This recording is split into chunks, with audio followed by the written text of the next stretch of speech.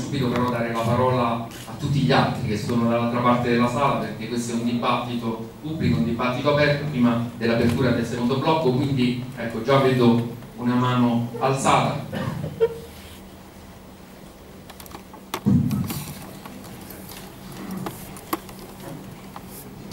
E sono veramente stupito dall'affluenza che c'è stata su questo convegno, la mafia pontina.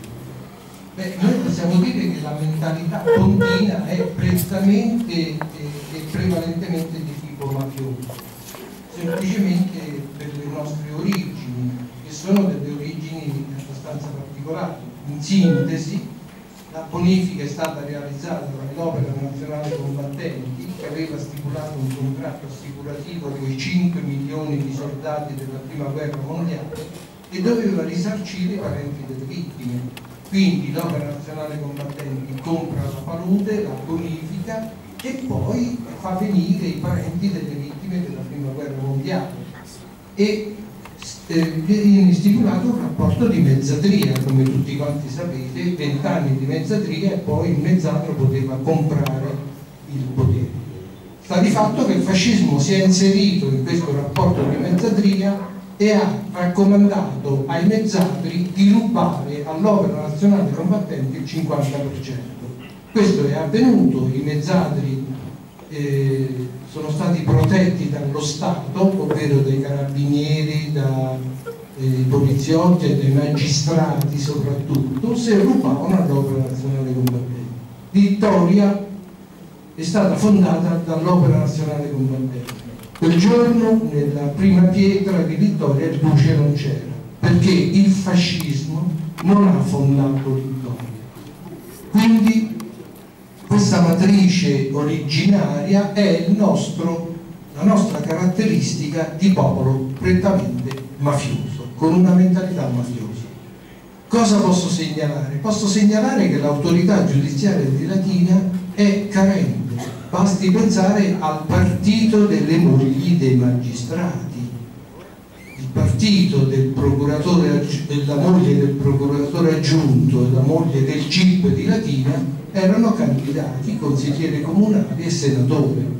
Chi li faceva la campagna elettorale alle mogli dei magistrati di Latina? La faceva la campagna elettorale alle agenzie di assicurazione. La domanda è molto semplice, parliamo di Latina, parliamo de, di, eh, della mafia pontina. Oggi si è parlato del, del generico, del pubblico, del, come si dice, delle favole. No? Il Movimento 5 Stelle si propone come alternativa e quindi come tale deve introdurre nuove modalità di rapporto fra cittadino e potere. Qui a Latina non c'è una cultura, non c'è un dibattito, ma c'è una mentalità. E questa mentalità è quella delle radici, opportunista e predatoria Cosa era la campagna elettorale delle mogli dei magistrati? Era l'assicurazione. Degli avvocati cercavano delle persone che portavano i voti, gli facevano fare un contratto di eh, assicurativo per infortuni domestici. Ecco, è molto semplice, in un infortunio domestico, no, la domanda è questa, che ne pensate voi della mafia pontina? Che ne pensate voi? No, dov'è il dibattito sulla mafia? Allora, io non lo vedo. Allora, Grazie. Allora, il rispondo prima io, e forse lo dovevo dire prima, che il primo blocco è dedicato alla visione generale della mafia, perché prima di parlare della mafia puntina dobbiamo prima capire un attimo cosa è la mafia. Per questo c'è stato l'intervento soprattutto di Albio di Cesare. Tutto il secondo blocco invece è dedicato alle questioni locali e quindi pontine.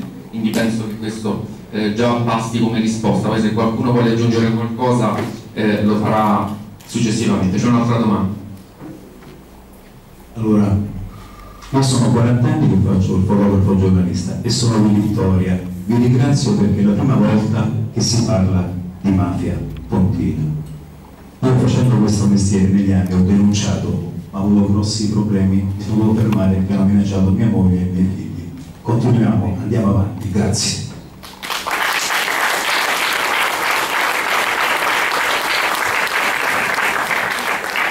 Ancora qualcun altro prima di prendere ecco qua. Sì volevo chiedere a Elvio Di Cesare ma come può succedere ancora che si uccidono giornalisti? Perché io quando c'era gli anni di piombo ero ragazzino e lì abbiamo assistito ad uno Stato che comunque eh, promulgava leggi, faceva commissioni, faceva, organizzava comunque la difesa dei cittadini, come si può ancora oggi a, assistere a questo e vedere che c'è quasi nulla intorno? Prima nessuno l'ha difeso questo giornalista e adesso pure tra, dai giornali non si riesce a capire nulla. Grazie. Guardate, la, la, la risposta è semplicissima. Oggi la mafia non ha più bisogno di un perché tanto comando, governa, fa le leggi, ha conquistato tutto, sta dappertutto, nei comuni, nei consigli comunali, al governo, nelle istituzioni, nei partiti, dove si conta, dove si fanno le leggi, dove si comanda. Infatti c'è stato anche un cambiamento nel modus operandi, non più di norma.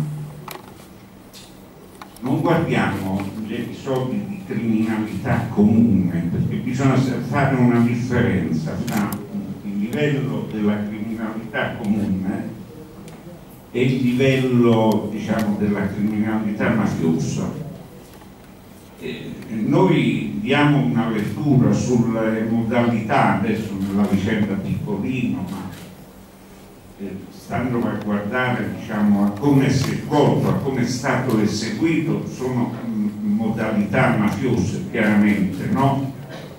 Pieno giorno, l'albagia, la sicumera, posto centrale, eh, qua, dritto in fronte, qua, queste sono le modalità delle esecuzioni ordinate dalla mafia. Adesso bisogna capire bene, ammesso che ci sia la volontà, perché si parla di un messaggio indiretto, eh, diretto ad altra persona, ad altro soggetto, bisogna capire bene. Speriamo che forze dell'ordine, la magistratura di Cassino, grazie a Dio c'è di mezzo la DDA di Roma, che è quella che coordina, eccetera. Arrivino a capire, però tenete presente che le indagini si fanno qua, non è che vengono gli investigatori della DIA da Roma o, o da altre parti, sono affidati alla squadra mobile, quindi mi auguro, eh, mi auguro che si capisca come la mafia oggi non spara di norma perché non ha bisogno di sparare. Certamente se uno provoca eccessivi fastidi e chi vi parla eh, riceve querele, nemmeno quelle penali, quelle civili, risarcitorie, richieste di danni che arrivano, eh, dobbiamo stare sempre a difendere perché oggi eh, c'è stato un, un, un, cambio di metodologia da parte della, diciamo, della criminalità mafiosa. Uccide proprio quando uno continuamente imbrocca, proprio focalizza eh, situazioni particolari facendo saltare grandi interessi, grandi colpi. In quel caso ricorre a queste cose però di norma non c'è quella, diciamo, quella, ecco, quella metodologia tradizionale. Adesso bisogna capire bene, sono analisi che vanno approfondite, noi stiamo seguendo alcuni filoni perché, ripeto, noi concertiamo un modo di fare antimafia non con le chiacchiere, con le parole oppure bla bla, viva fortuna, noi siamo scavatori, zappatori quelli che, e poi chiaramente trasmettono a chi devono trasmettere, al centro sempre. Eh.